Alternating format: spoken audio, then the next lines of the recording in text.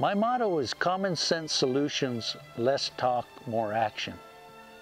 As I travel around District 39 and speak to the people, these are some of their concerns. Senior services, clean water, road improvements, acequia protection, school funding, access to public lands, and veteran services. If I'm elected, these will be some of my top priorities. I greatly appreciate your support on June 7th. Thank you very much.